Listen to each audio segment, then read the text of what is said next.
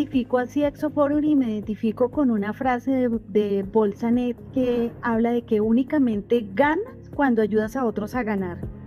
¿Cuál es la ambición que tienen los equipos hacia adelante? Cada una de las personas, ¿cuál es su propósito? Y eso moviliza a todo el mundo, cambia el status quo, que es bien importante. Lo importante es pensar en grande, empezar pequeño y escalar rápido. Enseñar es lo que más nos nutre y poder estar en una comunidad en donde enseñamos y aprendemos enriquece bastante nuestra función.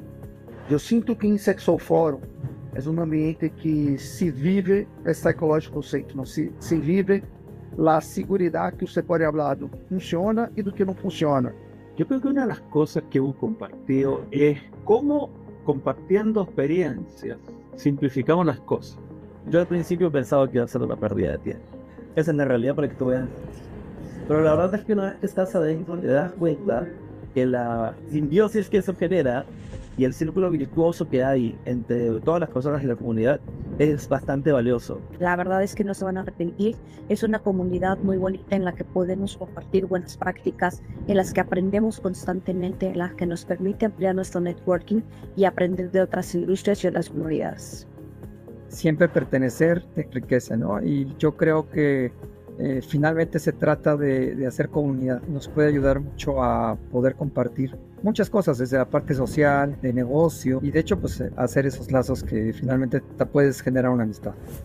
Yo creo que es importante generar espacio. A veces nos enfrascamos eh, solos a tratar de afrontar eh, dilemas, problemas que se presentan cuando ya otros han pasado por eso y tienen la experiencia como para poder aportarnos finalmente es una invitación a, a experimentar, a atreverse a lanzar eh, cosas, ideas, proyectos, no arrepentirse de haberlo hecho. Sobre todo por la cantidad de, de gente súper profesional, eh, súper talentosa que hemos podido conocer de diferentes ámbitos, eh, de diferentes industrias. Y aparte de la relación profesional, también han salido relaciones de amistad. Eso la verdad que tiene un valor porque tenemos algo en común. PXO Forum es una comunidad espectacular para mí, Exo for es oportunidad. Yo le diría si Exo por un gracias por permitirnos ser parte de esta comunidad de grandes profesionales y amigos. En estos años en CXO Forum el mayor valor que encontré en la comunidad fue la posibilidad de, de vincularme con, con, diversos colegas y poder compartir eh, prácticas, problemáticas en un ambiente de cuidado y de confianza que más de una vez me han ayudado a inspirarme en resolver distintas problemáticas de, de mi negocio actual y hemos podido obviamente construir eh, un espacio de comunicación y de compartir de cara a generar una comunidad mucho más proactiva. En estos 10 años ha sido importante para todos los C-levels de la comunidad salir de su zona de confort, de donde anteriormente se dedicaban solamente a tratar de afrontar los problemas de manera solitaria. Es un buen momento para agradecerle a la comunidad. Cumple 10 años y es importante hacerla crecer Felicitaciones a Sexo Forum por haber generado comunidades fuertes para enfrentar desafíos y aprovechar oportunidades. Felicidades por sus primeros 10 años, que vengan muchos más. Pero no solo felicitar, sino también agradecer a todas las personas que hicieron posible esto hace 10 años, poniendo el primer ladrillo para unirnos como una gran comunidad. Esto nos ha enriquecido muchísimo y se lo agradezco, la verdad, bastante al CXO Forum por estos 10 años y nos fortalece para poder generar más valor. Y por lo tanto felicito hoy a todos los integrantes que al final son los que, los que han hecho que esto siga vivo y con un incremento de agregación de valor permanente. Un feliz décimo cumpleaños por el empuje, eh, por haber desarrollado la comunidad no solo en Colombia, sino en otros muchos países. Y que vengan otros 10 años más, ¿no? O 20, 30 años más. Estoy muy contenta y muy agradecida con CXO4. Felicitaciones y gracias.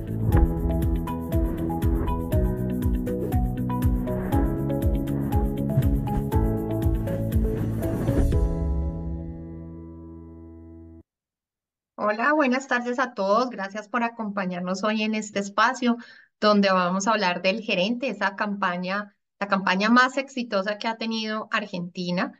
Eh, y para eso tenemos un invitado súper especial, miembro de nuestra comunidad directorio en Argentina, Marcelo Romeo. Ya te voy a presentar, Marcelo, creo que vale la pena que te conozcamos un poco más. Así que bienvenidos para que disfruten de esta experiencia, de este conocimiento que va a compartir hoy Marcelo con nosotros.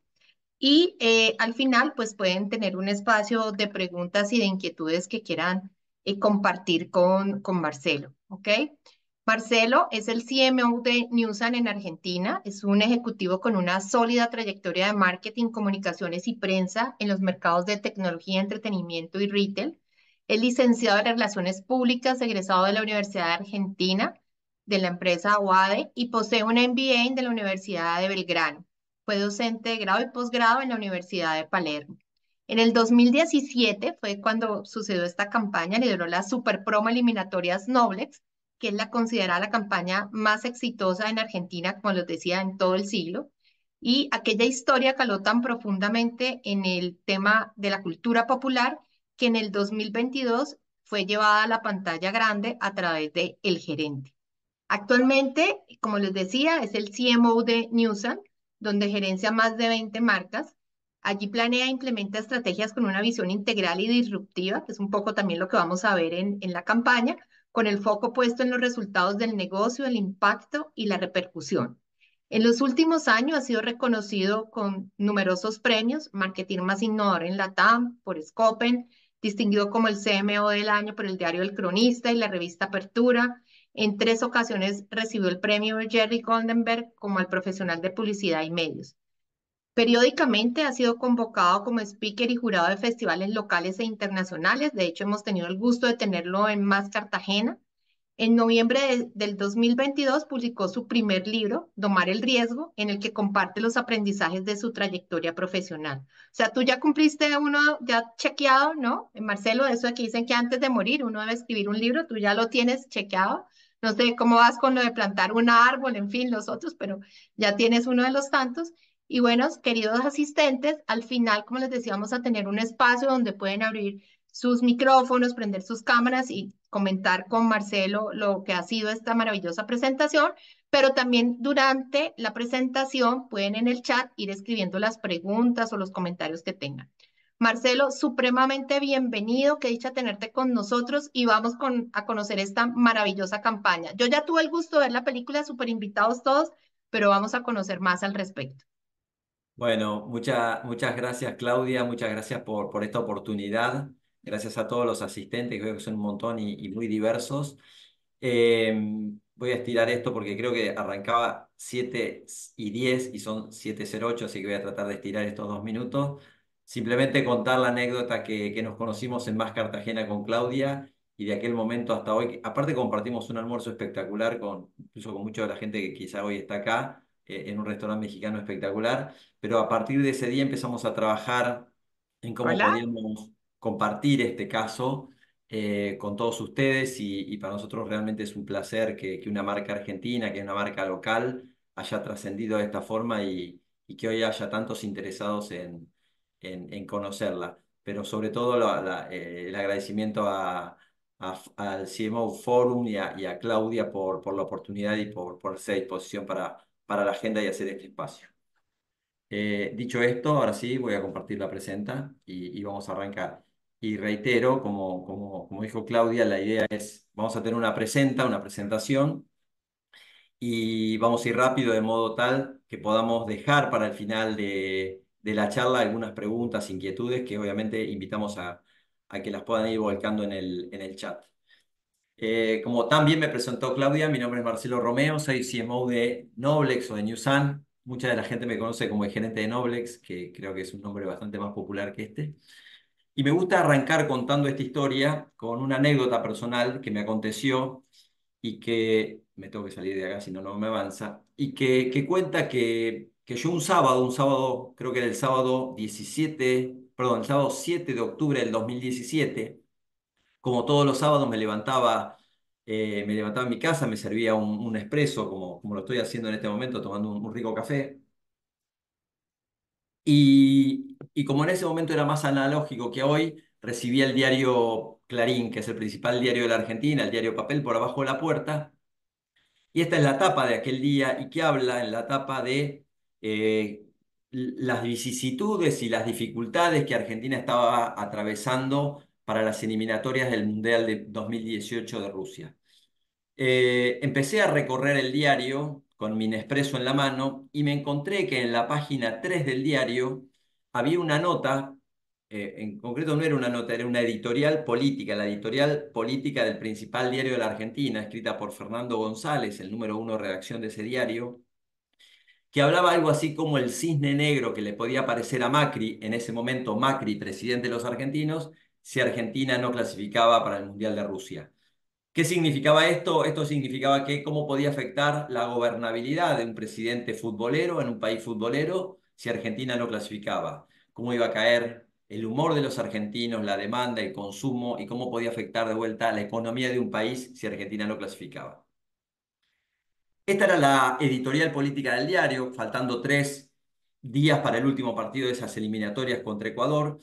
Pero la mayor sorpresa la tuve cuando empecé a leer esta editorial política, hablaba de un hecho político, y, al finalizar la, editorial, Fernando González dice el martes, este, si, Argentina es derrotada en Quito el martes, habrá duelo, y ahí empiezan a nombrar los sponsors, Coca-Cola, IPF, Quilmes, Sancor, Power, pero sobre todo en Noblex, y dice, la compañía fabricante de televisores ha hecho una audaz promoción en la que regalará parte de sus productos si Argentina no clasifica, va, Quedan 72 horas para saber si esa alternativa se convierte o no en una pesadilla.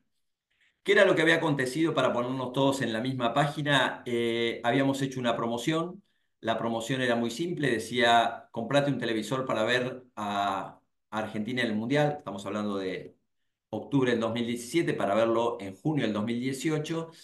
Y, sabíamos que la gente tenía muchas dudas respecto a esa clasificación y en la misma promoción estaba la solución de ese problema que decía, y si no clasifica te devolvemos el dinero.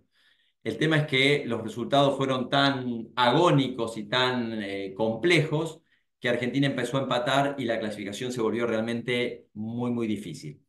Así que eh, los invito a que veamos todos un video caso de minuto y medio, dos minutos, para que entendamos la envergadura de aquella campaña, que como bien dice Claudia, se la considera la campaña argentina más exitosa en lo que va del siglo. Son pocos los años que ha pasado de este siglo, pero es suficiente como para considerarte eso. Eh, y como para que entiendan de, de qué estamos hablando. Vemos el video, por favor. Cero para la Argentina, cero para Perú. No pudo otro empate. Estamos muy cerca de verdad de quedar afuera y no es broma. En el peor momento, yo aposté por la selección. Una movida de marketinera muy, pero muy particular, ¿no? Era como muy riesgosa también. Y se burlaron de mí. El tipo de noble. Sí. En este momento el tipo los tiene de corbata. Me dieron por muerto. Nos quedamos acá, lo vemos con los televisores Noblex. Sí, sí, se va a fundir, Noblex se está pegando un tiro Soy el gerente de Noblex. Y esta es la historia de mi promo. Vos te comprabas la tele y si Argentina no clasificaba, no lo pagabas. Todo empezó como una muy buena campaña de marketing, pero ¿qué pasó? Argentina empezó a empatar. ¿Dónde están los jugadores que se ponían la camiseta de la selección argentina y te mataba? ¿Por qué no me dejan de romper las pelotas con los telefonitos? ¡Ley las pelotas! Señor, lo están matando en todos los medios y lo están bardeando en las redes sociales también. De hecho, es trending topic. Noble, es una, una cosa fenomenal. La verdad es que es algo insólito. Ahora me hicieron calentar. Extendamos la promo. Quedó mal parado Argentina en esta. Hay gol de Ecuador. ¡Adiós, argentinitos! ¡Chau, chau, ¡Estafadores! ¡Están afuera! ¡Vengan a comprar televisores! María Di María va, centro adentro, está Messi para el gol. Un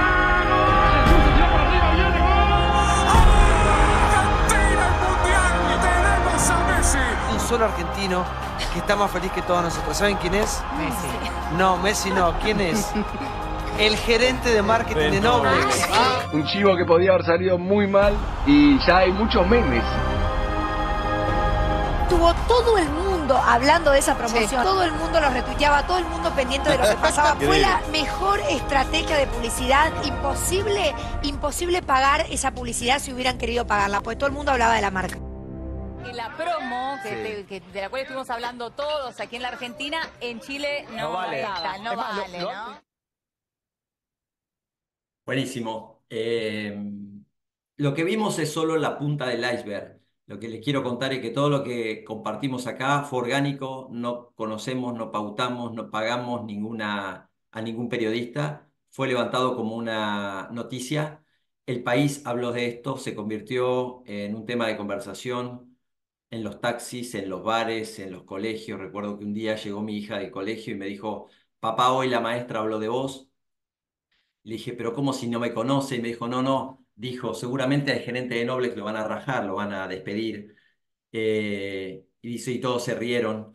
Eh, pero créanme que, que el país habló de esto y en cualquier lugar se hablaba de esto. Entonces, lo que, lo que queremos compartir, lo que quiero compartir y, y nos hemos puesto de acuerdo con, con el grupo es, recorrer esta campaña, básicamente recorrer los aprendizajes. La llamamos el gerente porque de, aquella historia y de aquellos memes eh, se inauguró como una nueva comunicación de marcas y nos gusta llamar esta charla el gerente, campaña de riesgo y storytelling de películas.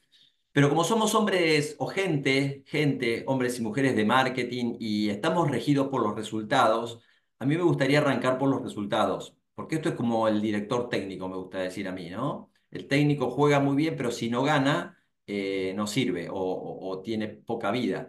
Entonces, lo que primero quiero arrancar es con los resultados y después vamos a hablar de otras cosas más y, vamos a darle un, poco más de espacio a la, a la creatividad. Eh, que en definitiva es lo que no- nos marca, ¿no? Digo, mm, yo puedo cobrar un bono, a la compañía le puede ir bien, puede estar en expansión, si los objetivos que nosotros nos planteamos fueron logrados. Entonces vamos a hacer un repaso muy, muy rápido por los resultados. Los resultados son cualitativos y cuantitativos, pero lo primero que quiero decirles es, es esto. Se inauguró con esta, con esta campaña una nueva etapa de comunicación de redes, gente generando contenidos de forma desinteresada para una marca, memes, cientos, miles de audios, de GIF. Imagínense que eh, despiadados, divertidos, con humor, con ironía, gente generando contenidos para una marca. Eso creo que desde lo cualitativo fue algo inédito, no había acontecido nunca, que la gente le hable de igual a igual a una marca. Lo segundo que quiero contarles es la repercusión que tuvo esta campaña. Nosotros operamos exclusivamente en la República Argentina, es una marca argentina de televisores y siempre me gusta destacar que es una marca argentina de televisores, porque si fuese una marca argentina de yerba mate o de, mm, no sé, dulce de leche, sonaría lógico, pero estamos hablando de una marca argentina de tecnología, que no es lo habitual. Y acá podemos ver algunas repercusiones de algunos medios como Diario O Globo, el diario Marca O Globo de Brasil, eh, el diario Marca de España o Bisoccer del Reino Unido y algunos más, que hablan de, una campaña, de una marca que, hizo una campaña muy arriesgada, muy loca y que prometía devolver el dinero de sus televisores si, si Argentina no clasificaba. Y para nosotros también esto, si bien no es eh, de incumbencia de la marca, no teníamos el objetivo de trascender, nos hemos dado cuenta que lo que habíamos generado había trascendido en nuestra frontera. Había países, había medios, había comunidades que se interesaban por esta alocada marca que había hecho, esta promoción. Em, este es un ejemplo de un tweet que lanzamos cuando en el último partido Argentina termina ganando 3 a 1 a Ecuador en la altura de Quito. Hacía años que Argentina no le ganaba a Quito, eh, a Ecuador. Y después del segundo gol, el community manager me dice, che, quiero largar este tweet. El tweet era una G, 138O y una L. ¿sí? Lo- Los 140 caracteres de, de Twitter en aquel momento, de X, convertidos en un grito de desahogo. Yo lo veo a la idea y la verdad me pareció medio tonto y no se lo apruebo. Eh, y al rato me dice, dale, hagámoslo, me parece que está bueno. Y nosotros teníamos una hoja de ruta para ver qué, qué postear y qué publicar. Y yo no lo veo y no me gusta. Y él me dice, mira, si no me das si no me decís expresamente que no lo voy a publicar, lo publica. Le digo, bueno, ok, publicalo.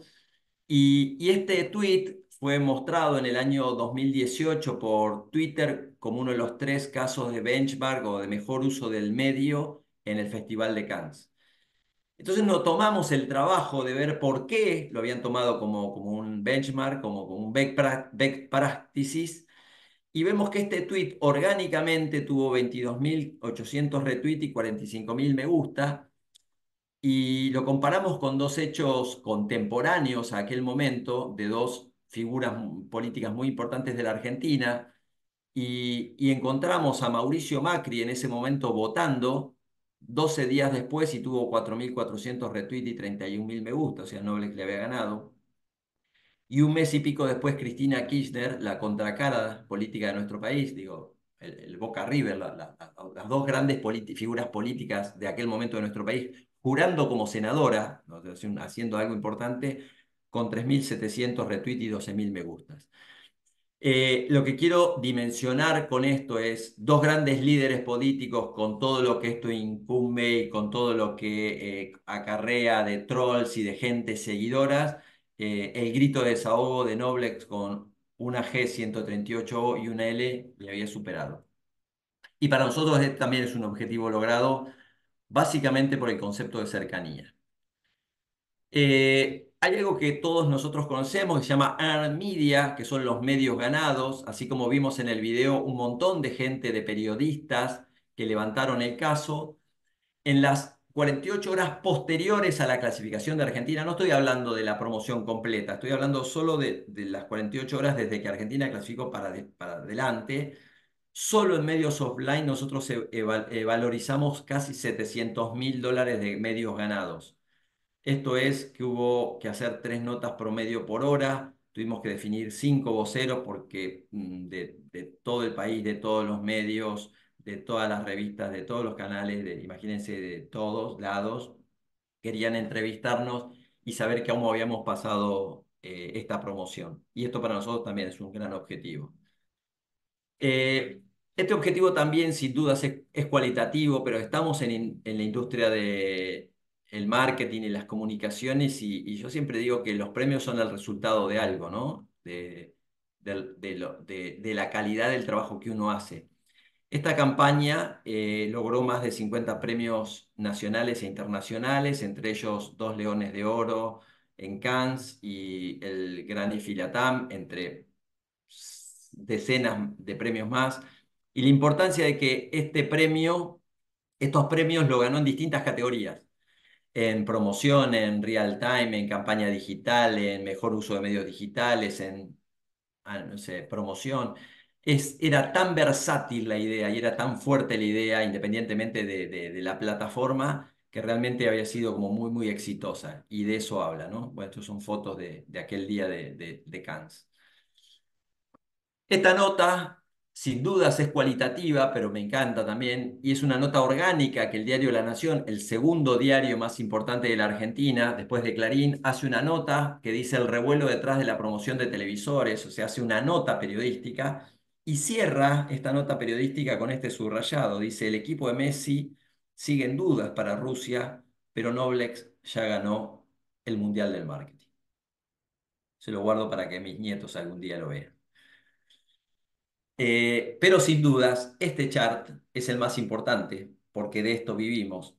La compañía eh, en, un, en un año, en, en 12 meses, esto es del 1 de julio del 2017 al 30 de junio del 2018, esto es en los 12 meses anteriores al Mundial de Rusia, o sea, arrancando de Rusia 12 meses para atrás, vendió la friolera de un millón de televisores, una cifra jamás vendida por nadie en la Argentina eh, duplicó eh, a la competencia, eh, esta cantidad duplicó, o sea, hizo el doble que la competencia, que más había hecho era 500.000 televisores de venta.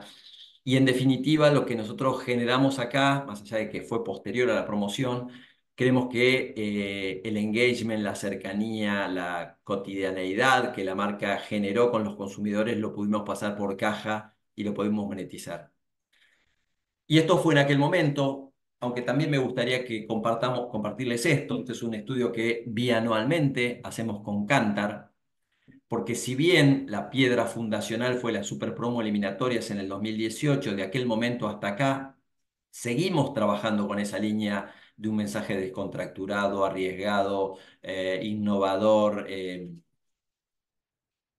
eh, descarado por momentos, y, en estas pirámides de Cantar eh, podemos ver que en el 2018, cuando estamos recién arrancando con este concepto nuevo de cercanía, la marca tenía un 87% de conocimiento, pero la consideración eh, eh, no tenía una forma lógica respecto de tuvo alguna vez. Esto es, siempre la, pirámide se, se, intenta que tenga forma de pirámide porque esto significaría que alguna vez lo tuvo pero no lo está volviendo a considerar.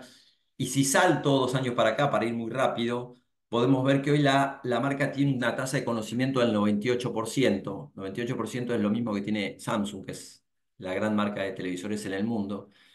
Eh, y tiene una tasa que para nosotros se llama eh, saturación. Digo, el, el 2% que falta buscarlo no tiene sentido ya porque es, eh, es muy caro ir a buscar ese 2%.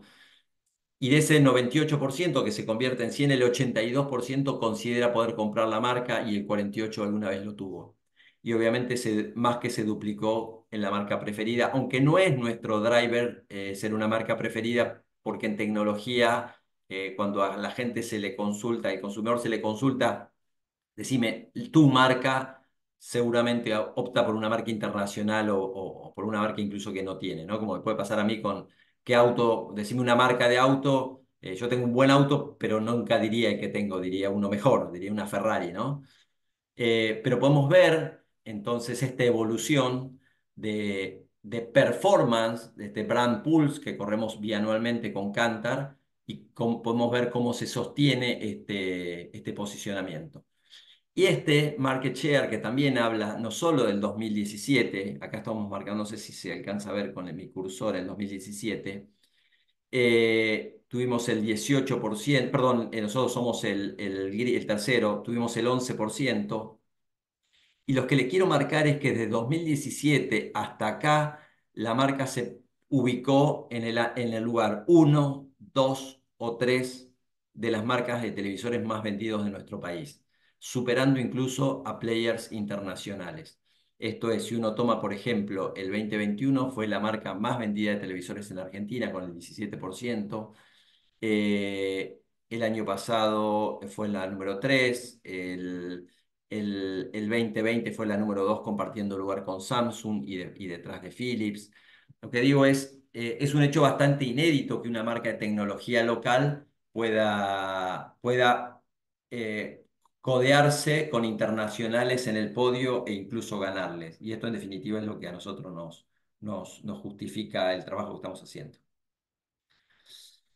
Hasta acá los resultados, después podemos muy rápidamente repasarlos. Lo que quiero ir es a, a cinco aprendizajes, cinco, que, nos dejaron esta campaña que es sensacional desde, desde lo rico, desde lo profundo, desde eh, donde uno hurga y vete mano, hay, hay cosas para sacar, porque realmente fue, imagínense, las crisis que vivimos, los contenidos, las reuniones, los debates, las este, situaciones límites que vivimos. Entonces, lo primero que quiero compartirles son cinco aprendizajes que me parece que, para mí son importantes básicamente para lo que en lo personal considero el nuevo marketing y las nuevas estrategias de marketing de comunicación de, de marcas.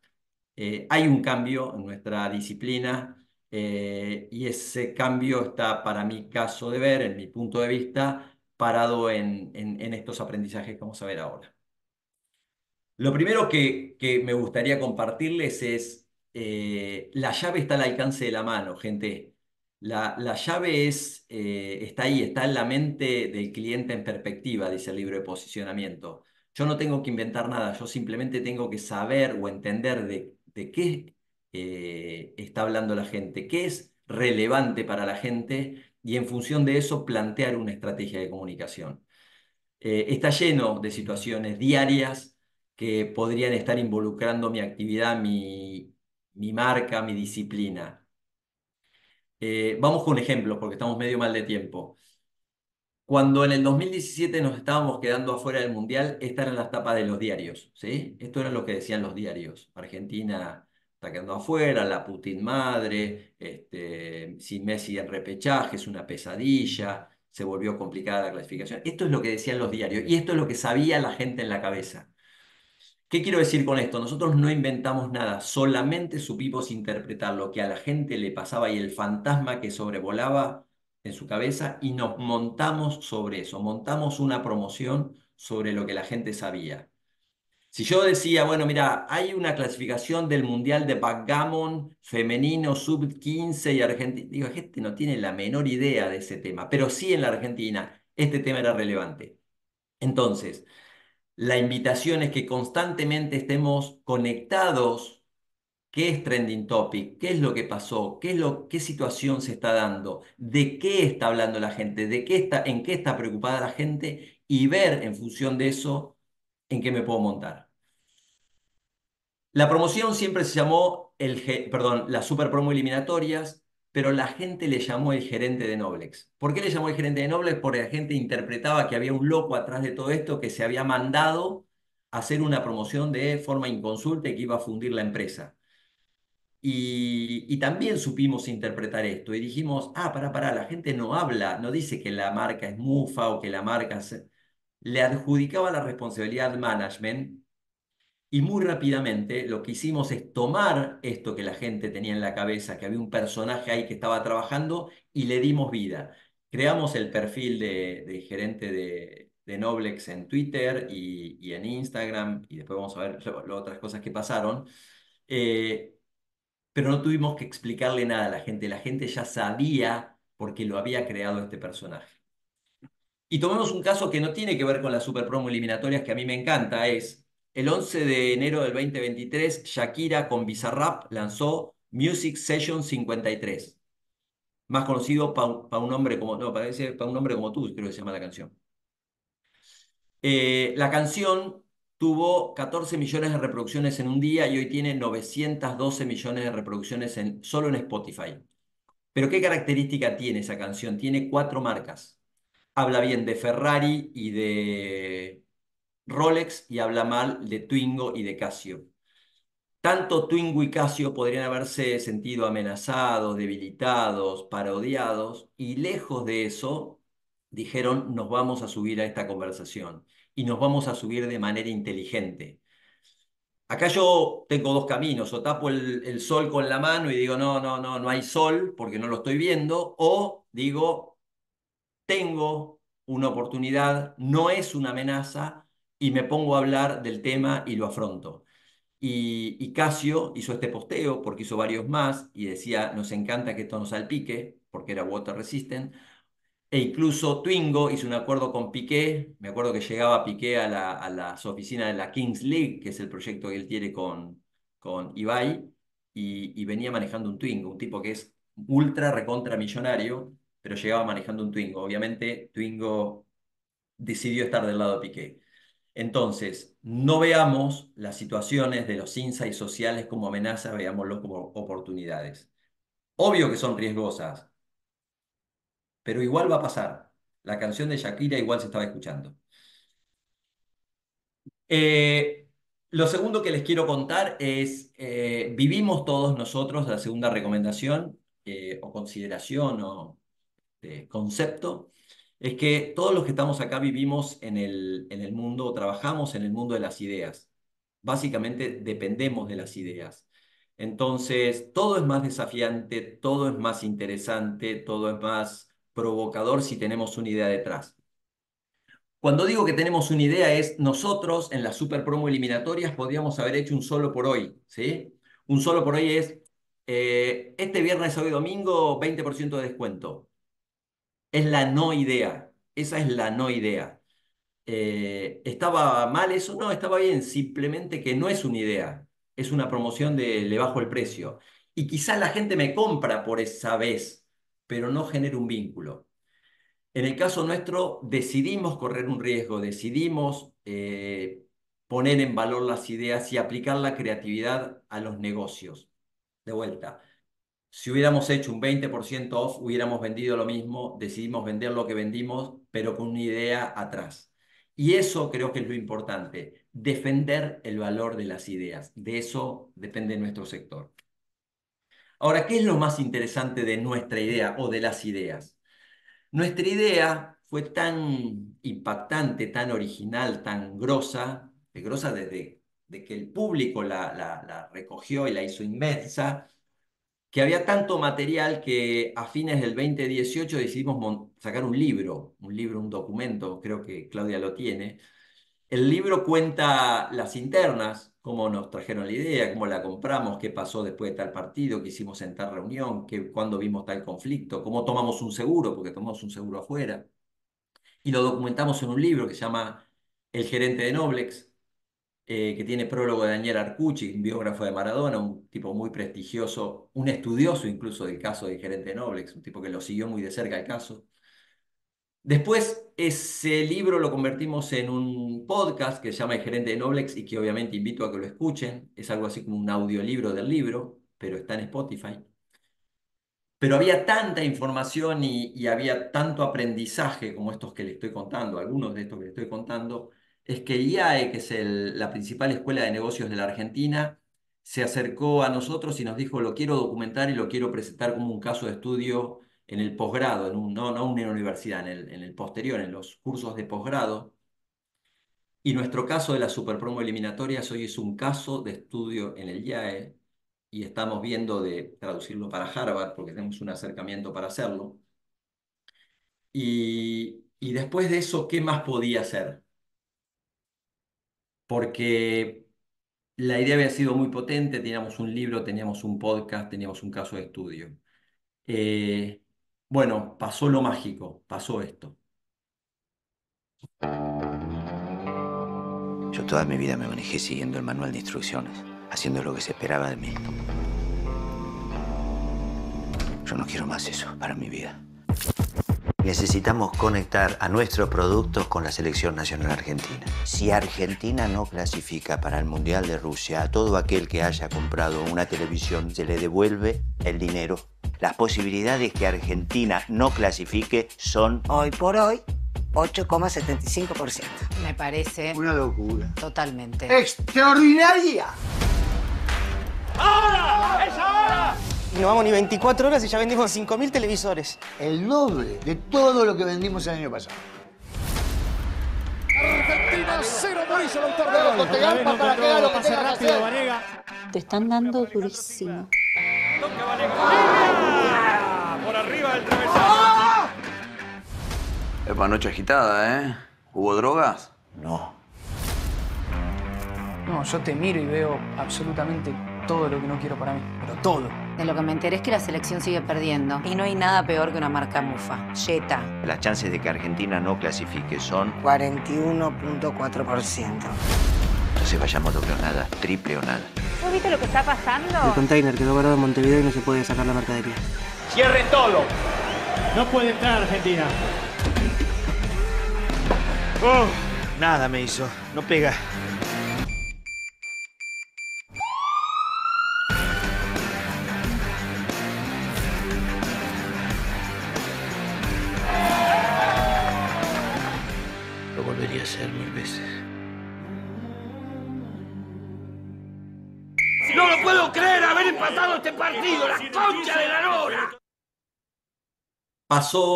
Pasó, algo muy fuerte, eh, es que Paramount se acercó a nosotros y nos adquirió los derechos del libro El Gerente para producir una película que recrea en tono de comedia dramática, digo comedia porque hasta determinado momento es comedia y después es un drama, un drama, una comedia, no- no pasa nada grave, eh, que cuenta lo que había sido aquella campaña.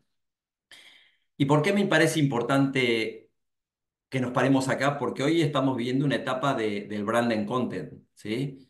Eh, y hay una tendencia de las marcas en contar sus historias. Todas nuestras marcas tienen historias, algunas más interesantes, otras menos, unas reales, otras no tanto, pero todas tienen historias para contar. Entonces, en este mosaico he traído algunos ejemplos de que recomiendo que lo vean porque hay historias que son fantásticas, súper inspiradoras, muy interesantes. No sé, ve- pienso la de Flaming Hot, por ejemplo, me parece fantá- fantástica. O la de BlackBerry, que me parece terrible desde haber lanzado un superproducto y no haber tenido la cintura o, o haberse visto superado por la ola. O la historia de Tetris, que también es una marca. Entonces, hoy estamos atravesando una etapa del brand and content donde las marcas cuentan sus historias.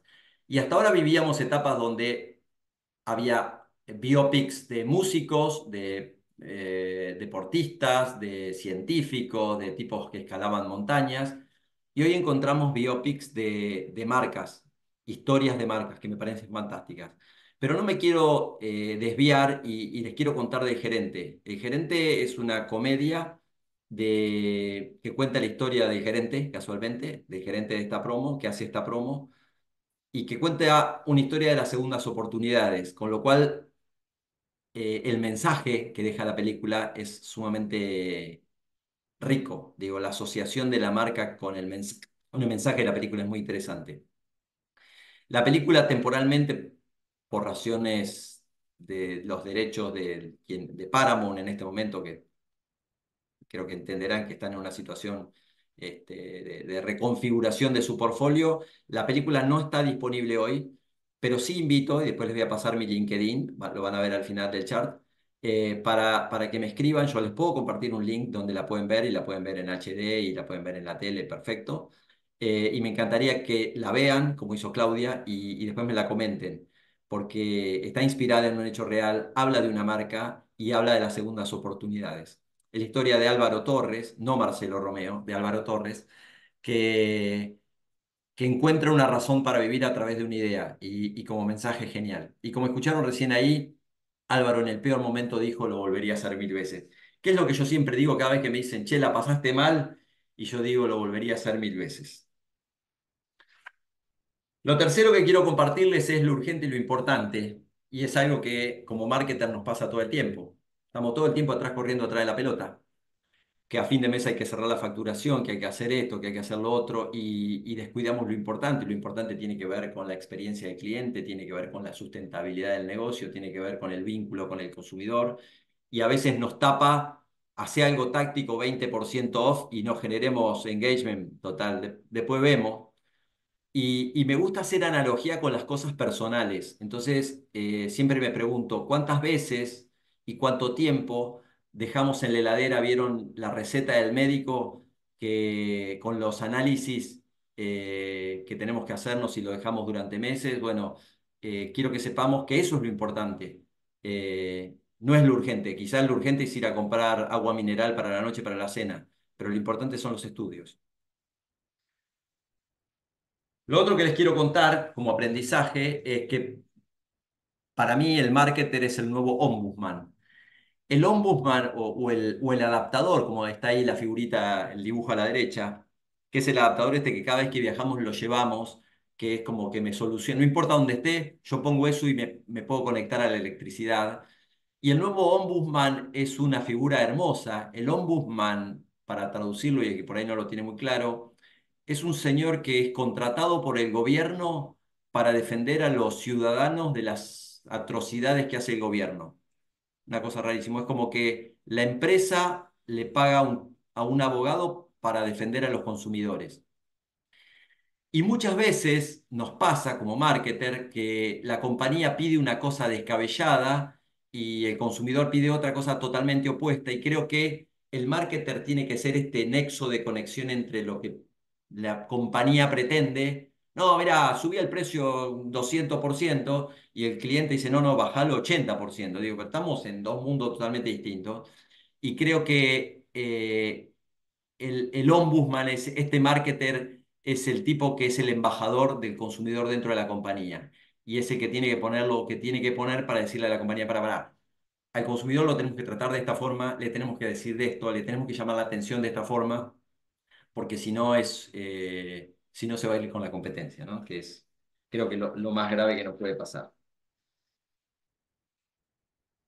Lo cuarto, perdón, lo quinto que les quiero contar en este decálogo, este pentágono de, de recomendaciones y para ir cerrando, es algo que me ha marcado en el último tiempo y, y que es esta frase de Mark Zuckerberg, dice que es el, el mayor riesgo es no asumir ningún riesgo.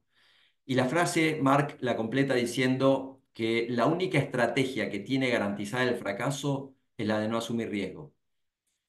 Entonces, también me pregunto qué postura tomamos en nuestra vida profesional, qué, postura tomamos en nuestra vida personal. ¿Decidimos ser protagonistas o decidimos ser espectadores? Eh, el riesgo no es tener una actitud suicida, es simplemente utilizar lugares que no han sido conocidos. Y, me gusta contar esto con, con una analogía con el tenis. ¿Vieron cuando uno juega una pelota al fleje? Bueno, una pelota al fleje siempre es difícil de, de agarrar, eh, son las más difíciles. Lo que le quiero contar y por qué me parece que es importante asumir riesgo, porque en esta cancha de tenis, o en este mundo, o en estas condiciones en las que vivimos, los flejes se cambiaron de lugar. O sea, hay lugares de la cancha donde el fleje está tres metros atrás. Eh, se agrandó la cancha, se cambiaron los límites. A nuestros clientes le decíamos de usted, ahora le decimos de vos. Eh, lo que antes estaba prohibido y está permitido. Y lo que es más grave es que en determinados lugares de la cancha no hay fleje y la única forma de saber si está permitido o no ese lugar es experimentando. Entonces, eh, bienvenido el que se anima a liderar marcas valientes. Hoy los consumidores requieren de marcas valientes. Las marcas valientes son las que se van a distinguir, las que tienen agallas, las que proponen temas de conversación espinosos que seguramente no dejan satisfechos a nada, a, unos, o sea, no dejan satisfechos una parte y dejan satisfechos a otro. Ahora, quedar bien con todos todo el tiempo es, eh, no es para estas épocas. Pero como nosotros somos muy proclives al riesgo, les quiero contar que venía el Mundial de Rusia, porque si no estamos hablando del 2017 todo el tiempo y eso hace una vida. Yo era joven, incluso tenía más pelo que ahora. Eh, venía el Mundial de Rusia, 2000, perdón, de Qatar 2022 y lanzamos una promoción. La promoción se llamó Promo Paga Dios y la promo Paga Dios era muy simple. Si comprabas un televisor de 65 o 75 pulgadas el 30 del 10, el 30 del 10 es el cumpleaños, el nacimiento de Diego Maradona y este era el primer mundial sin Maradona. Y Dios es conocido, al menos en nuestro país, Maradona es conocido como Dios en nuestro país, de hecho tiene un logo, la D, el 1, el 0 y la S. Si comprabas un televisor de 65 75 pulgadas el día de cumpleaños de Diego, y si 48 días después, el 18 de diciembre, Argentina se coronaba campeón en, en Qatar, te devolvíamos el dinero. ¿Qué pasó? A ver qué pasó. Va Gonzalo, gana Argentina 3 a 2. Ahí está Montiel tomando la distancia. Dale cachete, hacelo por favor, Montiel. Y ese Montiel, somos todos Montiel, Gonzalo, vamos. Montiel al arco. Vendimos un millón de dólares en un día, devolvimos un millón de dólares y vendimos lo de cuatro meses en un solo día. Entonces, cuando me dicen hagamos acciones tácticas de venta, eh, yo les podría mostrar esta, que fue muy exitosa porque de vuelta vendimos en un día lo de cuatro meses habitualmente, porque eran pulgadas muy altas, productos de, baja rotación. Y, generamos conversación y imaginarán que, que pasó lo que pasó. Pero también me gustaría compartirles esto.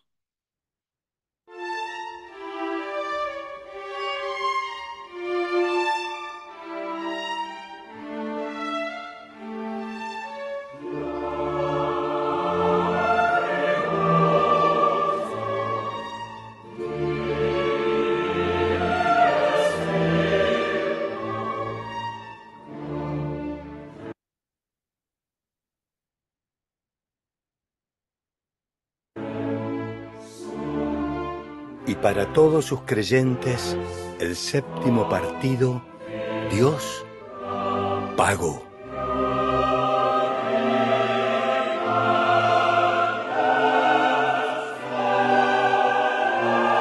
Noblex, teleoficial del campeón del mundo 2022. Este es un comercial que, que obviamente habíamos filmado, que lo teníamos listo y que después del penal de Montiel en el minuto 121 sacamos en todas nuestras redes y pautamos en todos los medios. Y, que también habla del riesgo. Yo siempre digo, qué bueno cuando me dicen, qué lindo, tenías un comercial de Argentina campeón del mundo. También debo decir que tengo el de Argentina campeón del mundo en Brasil que nunca pudo salir a la luz. Y el de Argentina campeón de la Copa América en Chile y en Estados Unidos que nunca salieron a la luz. Pero que lo tengo, porque teníamos que tenerlo, porque el real time requiere tenerlo si uno quiere jugar esta liga, lo tiene que tener. Quizás sea un posteo, quizás sea un comercial, pero, pero no puedo esperar a, che, nos juntamos mañana temprano y vemos qué hacemos, porque el momento era ese. Para cerrar, eh, les dije que los aprendizajes eran cinco, por lo menos lo que le quería compartir eran cinco, pero hay un sexto que es personal, que las consultoras le llaman habilidades blandas o comportamientos y que tienen que ver efectivamente con, como, cómo, cómo te planteas vos tu profesión y, tu vida. Y a mí me gusta llamarlas estas habilidades blandas soñar, visualizar, trabajar, que para mí resumen lo que, lo que uno debería, eh, lo que a uno le debería correr por las venas para que las cosas trasciendan. Eh, soñar es, es la capacidad de, de, pensar qué es lo que quiero hacer. Quiero escalar el Aconcagua. ¿Sí? Quiero escalar el Himalaya. Eso puede ser un sueño. Y quizás haya ecuatorianos acá y hay una persona que admiro mucho, se llama Millán Ludueña, que dice que si el sueño, que el reto que te planteas no te hace temblar las rodillas, no es suficientemente grande para vos.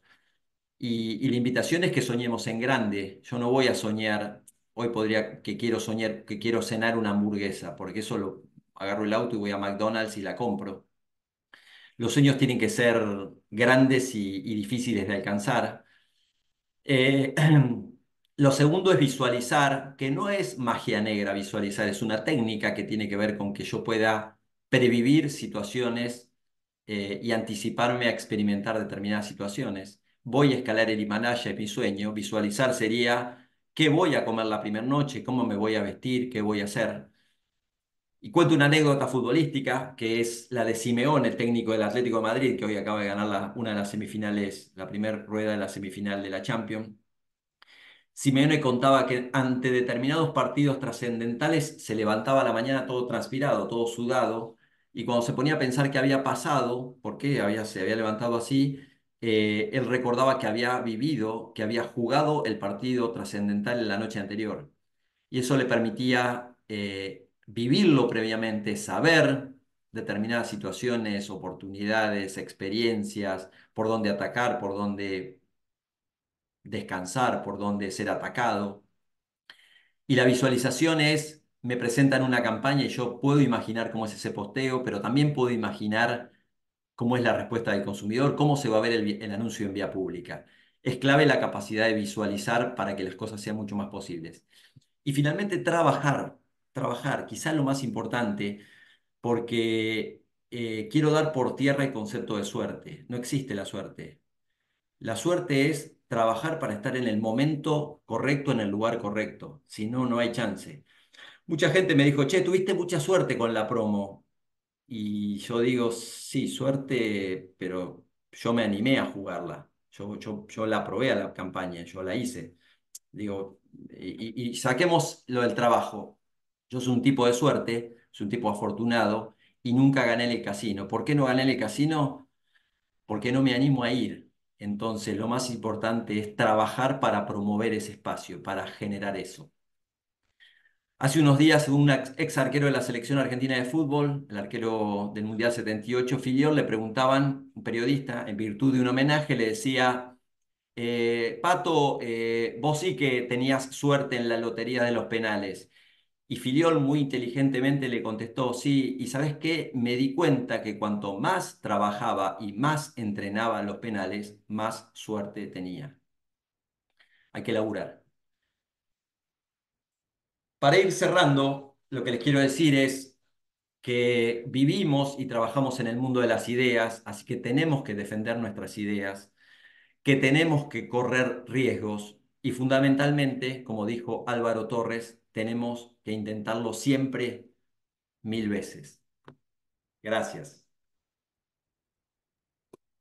Excelente, querido Marcelo. Eh, Súper invitados todos, como lo decías, a que vean la película. De verdad, vale la pena. Es supremamente interesante y creo que hay unos insights buenísimos dentro de la película.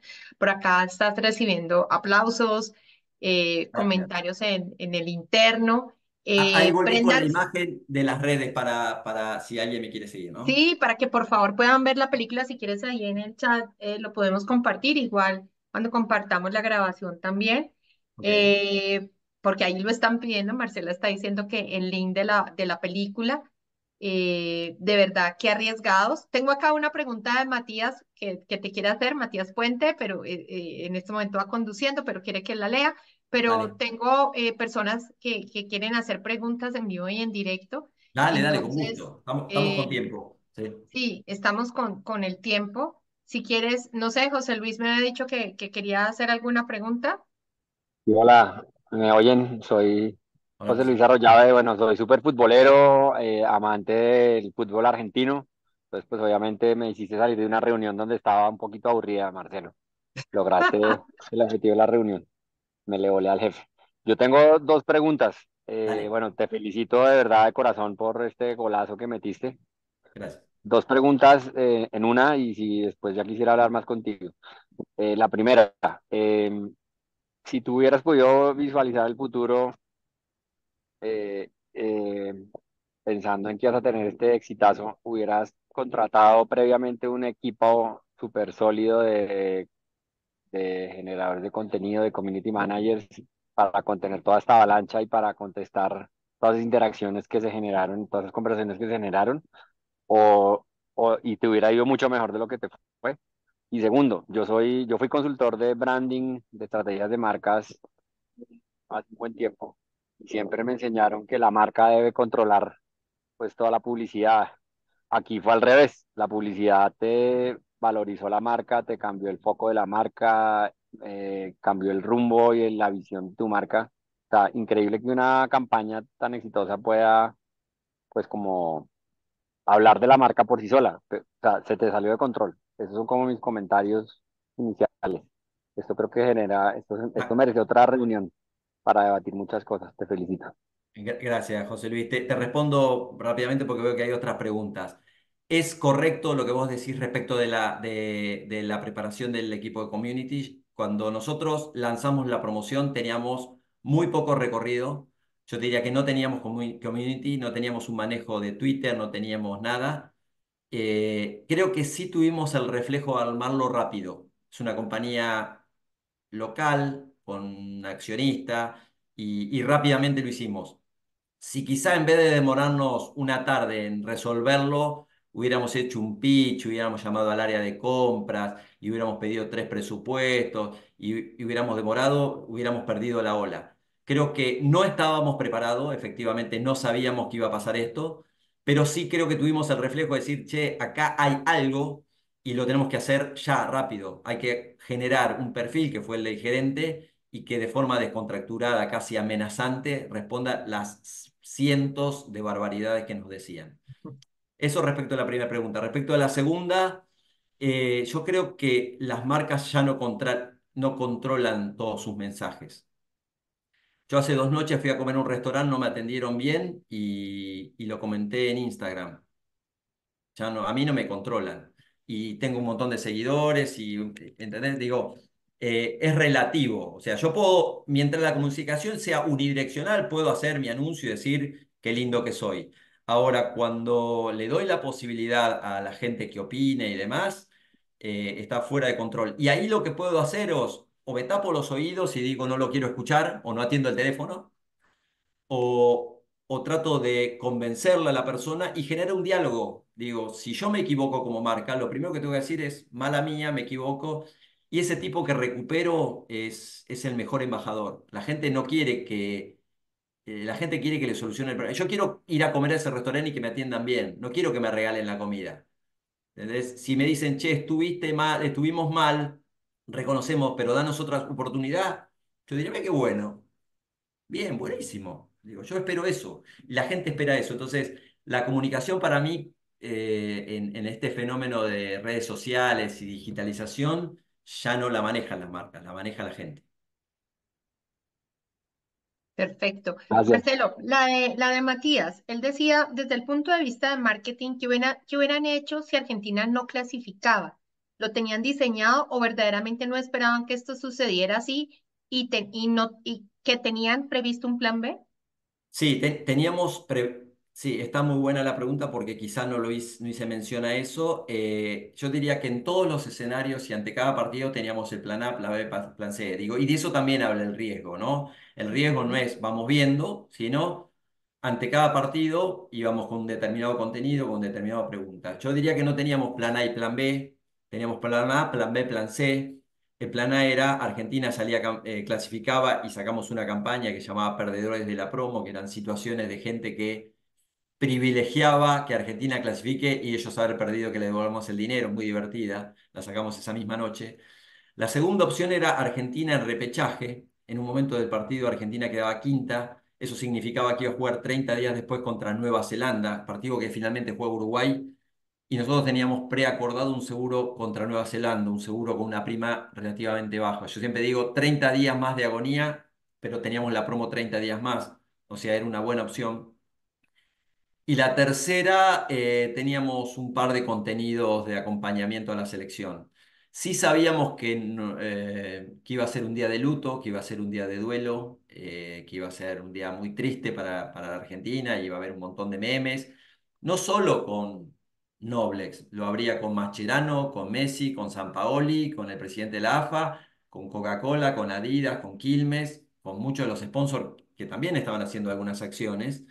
Eh, y, nosotros teníamos la, conciencia de que, de que habíamos sido hinchas incondicionales y si no hubiera seguido, hubiéramos seguido alentando. Eh, yo descreo de, eh, de, la reputación final de la marca, de, de esto de si, si no clasificábamos, nos fundíamos, imposible. Es una compañía que hoy factura 2 mil millones de dólares, y no, más allá de que teníamos un seguro, ¿no? Eh, podría haber afectado, pero si uno eh, trabaja, hay situaciones muy extremas de marcas, no quiero hacer mención a una marca específica, de marcas de fast food, que en sus restaurantes eh, ha muerto gente por la comida. Y vos decís, bueno, después esto van a cerrar, van a fundir.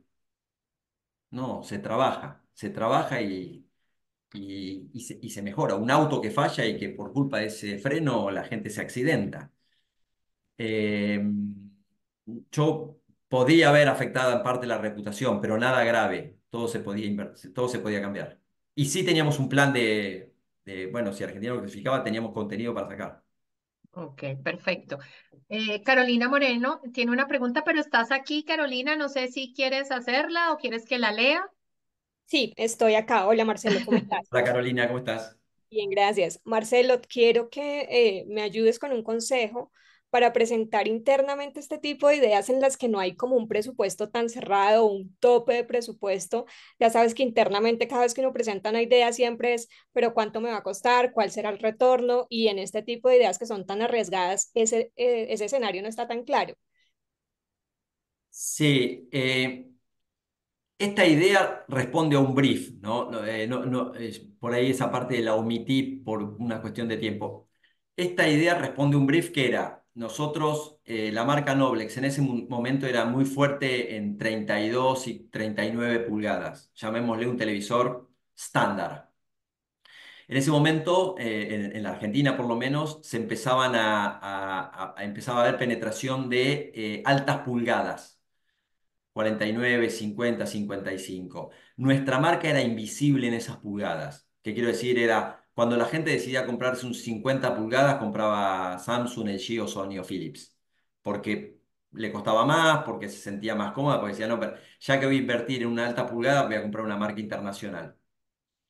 Entonces, la forma de nosotros meternos en esa categoría fue diciéndole, nosotros también tenemos 50 pulgadas y nosotros ponemos esto en promoción y te damos la chance de, participar, pero no con el de 32 pulgadas, era comprando el de 50, el que nos costaba vender. Entonces, creo que, que lo, el gran logro que tuvimos es, pusimos en juego algo que realmente no vendíamos y la gente lo compró. Lo compró porque cuando compraba pensaba que tenía una, un, boleto de lotería de X porcentaje de chance de ahorrárselo, ¿no? Eh, lo mismo pasó ahora en el Mundial de Qatar. La gente cuando compró lo compra pensando, es genial esto. Eh, la probabilidad de Argentina campeón en Qatar era el 22%, o sea, yo pagué una prima del 22%. El siniestro, el siniestro es choqué, el siniestro Argentina campeón era 22%. Y nosotros corrimos sin investigación en la calle y la gente decía tenía el 50% de Argentina de campeón. El percibido era 50, el real era 22. O sea, la gente compraba pensando que tenía la, mitad de chance de recuperar el dinero. Eh, eh, eso te responde a, primero, a, por qué lo hacemos, ¿no? ¿Por qué lo hacemos? Lo hacemos porque necesitamos mover esa, categoría.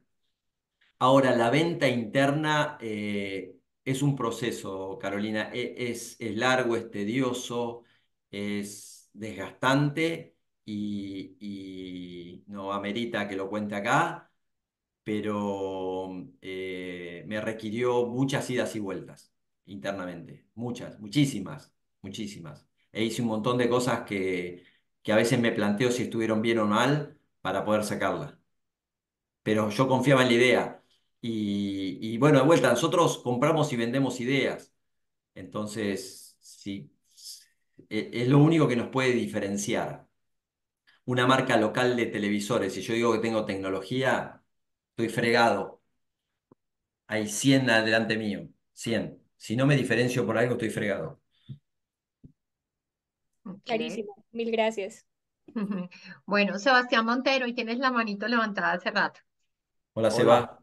¿Cómo ¿Qué estás? tal, Marcelo? ¿Cómo estás? Te bien. felicito, me parece Gracias. genial. La verdad me conecté por, nunca me conecto a estos, ahora me conecté y qué bueno, qué bueno que te escucho. Eh, hablas de Millán Ludeña, lo conozco mucho, es, es, es mi amigo, amigo de la casa, amigo de la compañía. eh, nos ha dado muchas charlas y pues me encantó los, los últimos temas y te agradezco por eso. Tengo dos preguntas. Perdón, per- perdón, Seba, lo, estoy escribiendo mi segundo libro y lo he invitado a Millán y me ha pasado. Ah, digas. Va, va a tener una participación en mi libro con Ah, espectacular. Yo, sí, genial, genial. Él lo, lo vimos primero en un foro de gerentes y luego lo llevé a, estuvo con toda mi fuerza de ventas a nivel nacional. Es genial, Millán. Y, y bueno, lo extraño, no lo he visto hace rato, así que salúdalo y igual lo escribiré. Mira, y hay dos cosas. Nosotros somos una compañía ecuatoriana, tenemos participación regional. Eh, una compañía muy parecida a la nuestra es Arcor, pero Arcor obviamente en, en, en Argentina, Brasil, Sudamérica es muy fuerte. Eh, nosotros somos una empresa de dulces, somos una casa de marcas, digamos, somos muchas marcas. La pregunta que te hago es, ¿qué rol, y por ahí vi que hace una pregunta parecida, ¿qué rol juega la agencia creativa aquí, por un lado?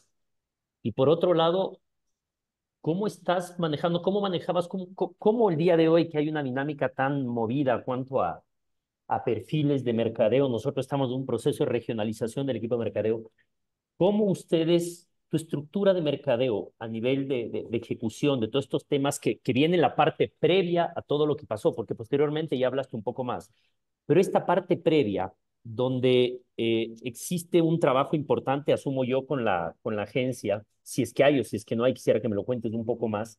¿Y cómo están ustedes manejando este asunto ahora que las agencias grandes, las grandes agencias estas están perdiendo un montón de peso porque están muy desconectadas con este consumidor local eh, por una visión a veces muy, muy, muy, muy, muy, muy, muy mundial, ¿no? Nosotros hemos tenido decepciones importantes al respecto, pero sí estamos en un proceso y me encantaría entender cómo lo manejaron en su momento y qué comentario tienes tú respecto a eso. Está muy bien. Lo primero que, que debo decirte es que nosotros trabajamos con agencias argentinas independientes. Ajá. Agencias, yo diría medianas grandes, argentinas independientes. Y tiene una razón de ser. Primero, porque la flexibilidad, el costo, el entendimiento eh, ad- adhiere mejor a lo que nosotros hacemos. Después, para mí hay una cuestión física respecto de la creatividad. Es, cuanto más global es la marca, más lavado es su mensaje. Por una razón obvia. Yo, hay un comercial de perfume, no importa cuál, ¿eh? De un comercial de perfume, tipo en un caballo que sube una escalera y que saca de una túnica un perfume. Buenísimo. Está bien. Filmaron un comercial para todo el mundo. Ahora, acá en la Argentina, el tipo que vive en la Patagonia le importa nada eso, no sabe de qué está hablando, no, lo registra, no le pasó, no sabe qué es, no lo toca la vena, no le pasa nada. Y eso es lo grave. Entonces, cuanto más internacional es tu mensaje, más lavado es. Ahora, si yo le hago un posteo exclusivo al tipo que, no sé, ayer fui a la cancha de Boca y a todos los hinchas de Boca les hago una referencia de no sé qué, cuando el gol de no sé cuánto. El tipo conecta porque lo tiene vivido, está cerca. Entonces, obvio que eso es más caro, pero nosotros elegimos agencias locales, independientes y no multinacionales porque creemos que nos da una gimnasia y una velocidad distinta a una internacional. Y lo otro es que le damos libertad a la agencia. Y en este caso, y perdóname que te interrumpa un momento, pero ¿qué tanto crédito le das en este proceso a la agencia creativa? Muchísimo, todo, Ok. todo. O sea, ellos te apoyaron mucho en este proceso. Obviamente tú fuiste el vehículo en el cual al final Sí. logró la ejecución, pero La idea inicial Todo. nace de ahí. La, la- la idea es de la agencia, la idea de la agencia y es, es clave, de, de hecho el- es de, de- de un creativo, del dueño de la agencia, que me dice, me llama por teléfono, me dice, tengo la idea, te quiero ir a ver ya. Le digo, bueno, vení el viernes, no, no, no, ahora.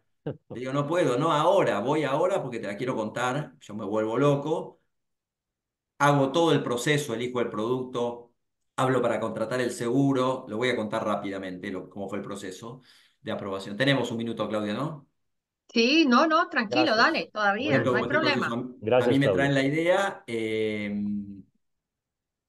a mí me encanta, la empiezo a con- construir con el gerente de producto, el gerente de ventas, empiezo a, che, está buena, sí, mirá, para el 50 pulgadas, vamos a poner tal stock, este sería el key visual, bases y condiciones, dónde registrarse, cómo es el control, digo, porque hay una cosa, es, es el control, cómo puedo hacer para que dentro de 60 días alguien no me reclame algo y yo sea efectivamente que lo haya comprado, o sea, tuve un proceso bastante largo.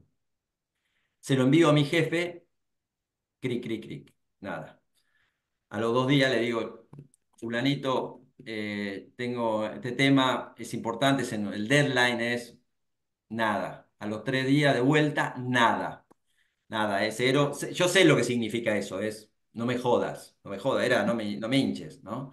Mm. Y al gerente de producto lo copio en el mail y el gerente que era producto, creo que nunca leyó el mail.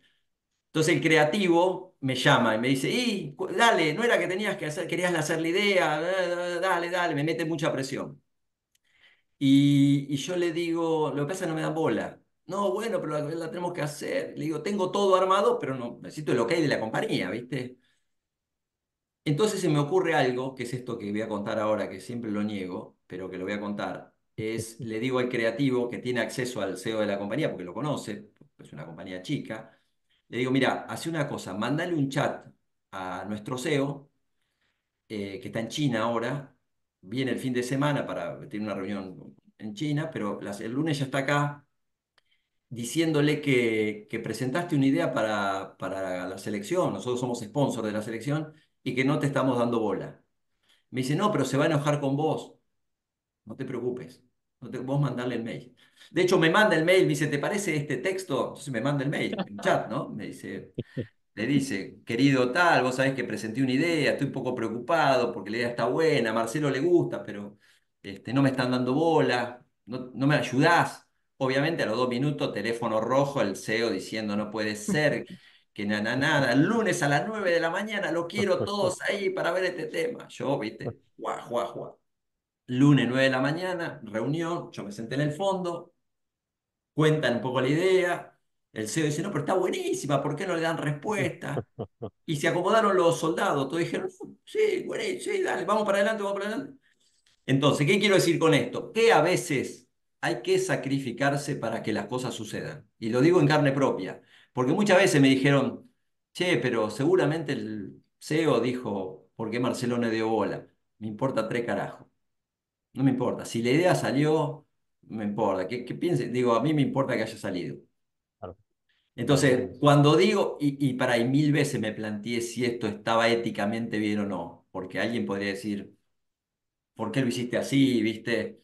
Pero eh, yo creo que si sale, sale. Si, tengo que hacer algo para que salga, tengo que hacer. Por eso digo, cuando Carolina me preguntaba, eh, yo decía, tengo que arbitrar los medios para eso.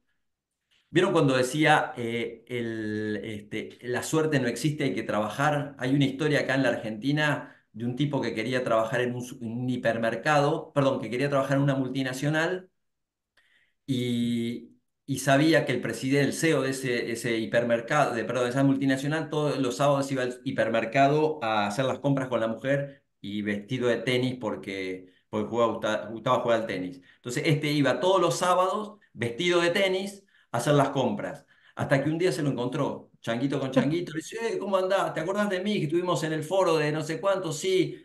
Ah, ¿jugás tenis? Sí, ¿eh? amigo. Hoy el tipo es director de esa compañía. Wow. Entonces, lo que quiero decir es, hay que laburarlo, hay que laburarlo. ¿Qué tengo que hacer? Averiguar si a Claudia le gustan los habanos o el whisky. Bueno, digo, ¿qué, qué puedo hacer? Hay que Sí, está laburarlo. buenísimo. No, no. Y creo que Eh, es un baño, un baño importante de humildad de tu lado. Obviamente, aceptar esa, porque la idea, idea hay miles y, y idea, como decía Warren Buffett, por la idea te pago un dólar, por la ejecución un millón. Y tú fuiste el que ejecutaste el proceso al final que llevó a esto. Así que, no, buenísimo, me ha encantado, te voy a escribir porque Gracias, me encantaría Iván. cruzar un par de ideas. Así que gracias por su tiempo y, y nos vemos. Saludos a la comunidad de colegas. Gracias. Bueno, y hay una última pregunta, eh, querido Marcelo, de Luis Nogaro. No sé, Luis, si tú quieras eh, hacerla o quieres que la lea. Y más o menos eh, se respondió recién. Está bastante vinculada a la respuesta recién. Y Ajá. nada, felicitarte, Marcelo. Eh, Gracias, Luis. nada, eh, creo que nos conocemos hace un tiempo, ahora estoy acá en México, Ahora, pero nada, felicitarte y si, Gracias. seguí el caso y lo viví en carne propia, así que nada, excelente, excelente O sea, compraste el Pero- televisor, Luis, ¿sí? Compré el televisor, sí, y después también fui a, a Qatar, todo. Así que nada, la, la bastante bien. Pero mm, no, fue, fue, fue respondida recién. La verdad que fue bastante resumida mi pregunta, pero el concepto fue respondido recién. Gracias. Perfecto, sí, hablabas ahí de la agencia creativa y yo también creo ahí que lo bueno es tener un partner, ¿no? Que esa agencia también sea un partner tuyo, porque mira, eh, obviamente cómo lo lograste, como dices tú, tuviste Sí. ese apoyo de parte de ellos también. Sí, ¿ya? perdón, Claudia. Y, y- y esto que para mí es, es sumamente importante y lo fui aprendiendo con el tiempo, eh. Digo, no, no, no. Yo era de, de los que venía a la agencia y cuando empezaban a contarme le decía, no, no, pará, pará. Yo quiero que el camión entre por la derecha y el tipo se baje. Y yo le, yo le quería hacer la comunicación, ¿viste? Eh, y eso es terrible. Entonces, eh, si yo llamo al médico, yo no le digo al médico que me oculte acá, me ponga, me haga tal estudio. Yo voy al médico y me entrego. Y acá con, con la agencia es clave que yo le dé lugar. Si, si no le doy lugar y no lo dejo volar y demás, eh, hagamos un brainstorming este, nosotros con el equipo de marketing. Obvio que la calidad de las ideas de mi equipo de marketing y mío son 6 puntos, 4 puntos, y el de la agencia son 10. Estamos hablando de la agencia, la de la promo esta eh, de la, de la promo Paga Dios es GAT. GAT salió mejor agencia global en Cannes en la última edición de Cannes. Estamos hablando de primera. Entonces, digo, obviamente que las ideas se garpan, ¿no? Sí. Y hay calidad de ideas. Eso también la otra, ¿viste? No es, no es lo mismo 20% off que una super idea. De acuerdo. Bueno, no sé, yo creo que ya no tenemos más preguntas en el chat. Si alguien quiere hacer una pregunta final. No, bueno, perfecto. Marcelo, nos, nos pasamos unos minutos, pero mil gracias, de verdad, excelente presentación, eh, trabajo. eh, creo que todos quedamos con eso de definitivamente hay que arriesgarse, hay que creer, como dices tú, hay que llevar esa bandera y creer. Carolina lo mencionaba, a veces no es fácil venderla al interior y lograrlo, pero no es imposible como tú nos lo has mostrado. Así que muchísimas gracias a todos los que nos acompañaron. Vamos a, aquí te están dando las gracias, agradeciendo, Marcelo. Eh, vamos a compartir la grabación para los que quieran repasar algo y obviamente el link de la película para que por favor la vean porque vale la pena. Muchas gracias a todos. Feliz noche.